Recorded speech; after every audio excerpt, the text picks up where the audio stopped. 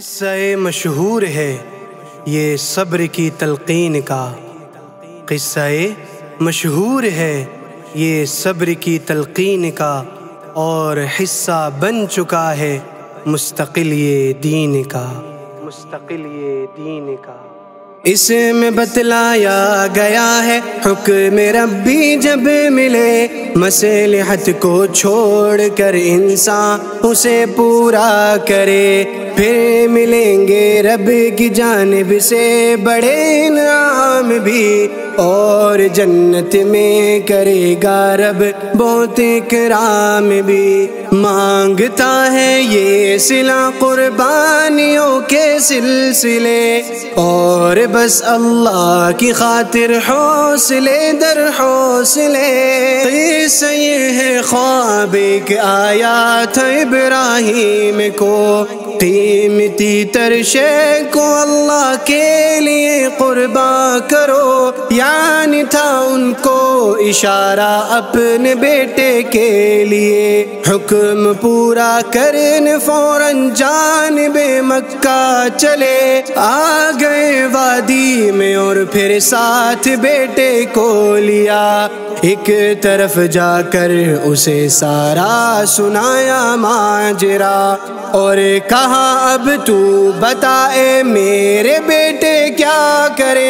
या बात फल कहा बेटे ने यानी सर धरे फिर कहा, बाबा मेरी माँ सुन के होगी अब उदास। दफन कर देना, यही मत ले के जाना उसके पास। हाँ मगर कुर्ता मेरा दे दे न ये माँ को मेरी। इसे को देखा वो करेगी याद जब भी आएगी। फिर कहा ओंधा लिटा दे मुझको और फिर यूँ करे। अपनी आँखों पर मेरे अब्बा ये पट्टी बाँध ले। बाप इब्राहिम इस्माइल है जिसका पिसर। और उन्होंने रब के आगे खम किए हैं अपने सर। पकड़ी हाथों में छुरी फिर आसमां को देख कर। और गुठना रख लिया लखते, जिगर की पीठ पर। आँख जैसे कह रही हो, देख ले मेरे खुदा। कोई शे बढ़कर नहीं है तेरी मर्ज़ी के सिवा। रो पड़े सारे फरिश्ते ऐसा मंजर देख कर, चीख निकली आसमां की और जमी की सर बसर। आजमाइश प्यारों की कुछ इस तरह मंजूर थी। मसलहत अल्लाह की इसमें कोई मस्तूर थी।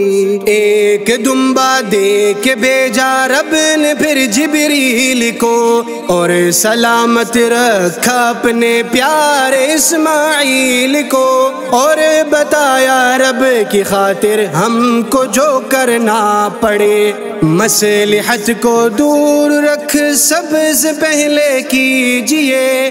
बाद में कुर्बान की सुन्नत ये फिर जारी हुई। और मुसलमानों ने पाई है खुशी ईद की।